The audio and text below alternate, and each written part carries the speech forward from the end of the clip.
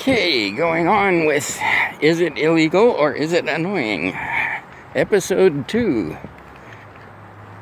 See who did it at the end of the series. No, never mind. Um, okay, um, intellectual property. We've talked about intellectual property, but some people do not understand. You know, I, I have pointed out that um, protection, the, the law in regard to protection of intellectual property, it doesn't sort of roll out automatically as it does in uh, criminal law.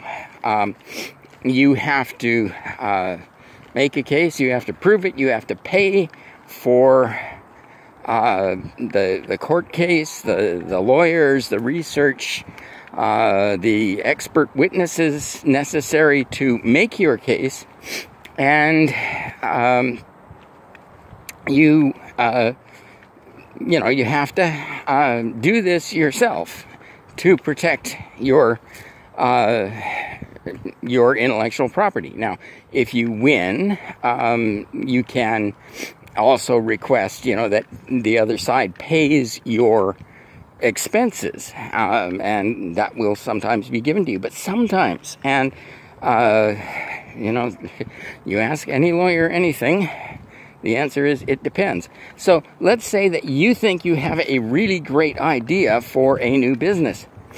Is there anything uh, aside from trade secret which protects that? And if you go to investors, they will want to know what your great idea is, and so you have to disclose your uh, great idea. And so if one of them then takes your idea, um, you you know may be in, in trouble because the uh, you know you you have not protected a trade secret. Um, you you know you, you risked uh, the the disclosure of the information in order to get money. Um, so okay, too bad for you.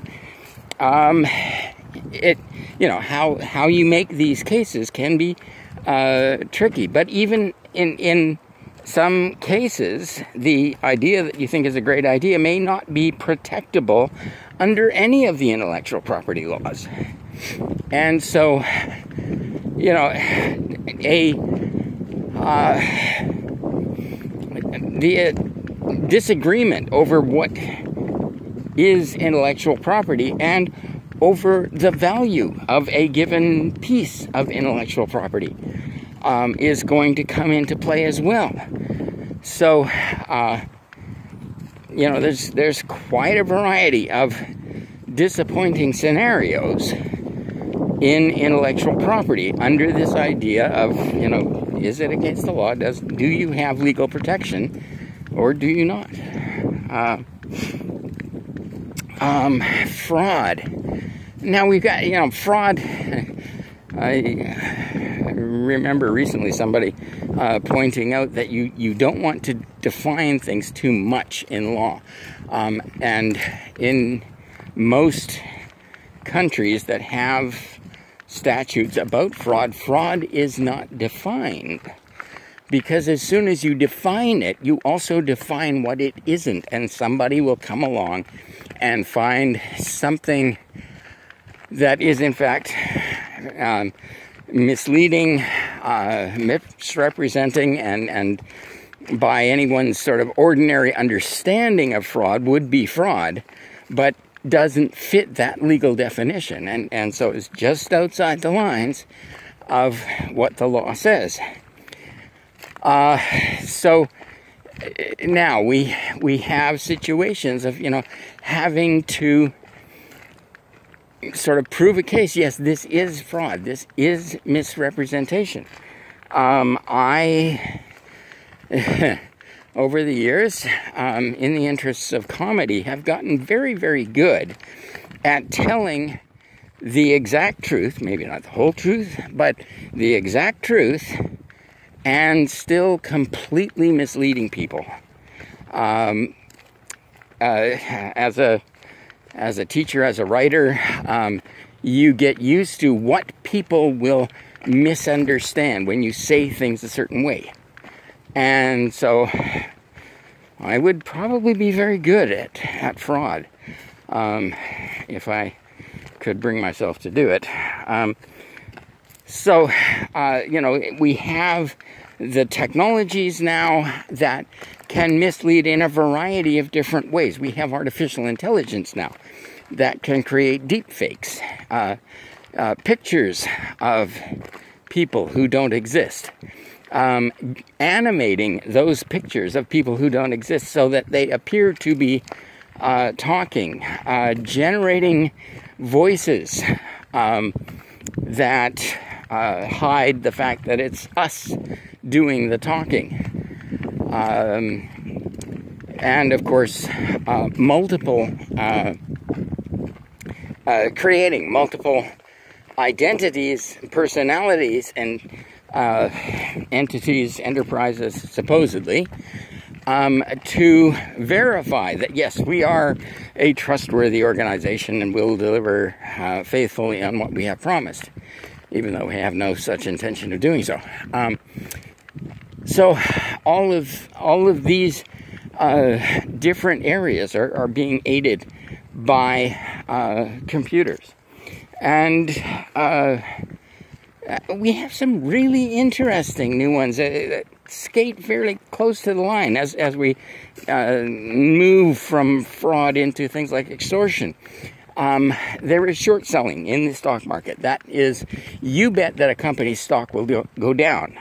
And now we have situations where uh, people look at businesses and say, okay, this business is in trouble. This this business um, is is not failing right now, but will be shortly in the future because they have not prepared. They are doing the wrong thing, whatever. And uh, so they will then, you know, bet against the company and the stock goes down and they make a lot of money. But you can make more money faster if, for example, you uh, do this review of the company and then you say, uh, you, you, you put the, you know, short sale, uh, and then you release your report pointing out the failings of this company, and then a whole bunch of other people sell the company and the stock goes down. Um, the and then there are other situations where uh, again you do a review of the company you see that the company is potentially in trouble here and you go not to the stock market not to the media but to the company itself and say okay you know we see this um, if you don't put us you know, a number of our people on the board with, you know, very high director's fees uh, so that we can help you fix this.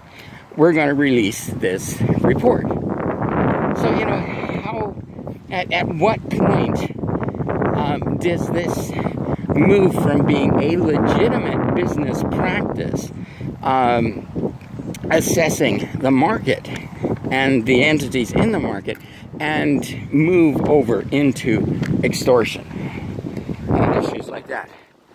And, um, oh, you know, we can go on and on with these things. Malware. What? Uh, how do you define what malware is? Um, we have had a lot of instances where, uh, you know, we say this is malware, this is malicious. Uh, no, says the person who wrote it.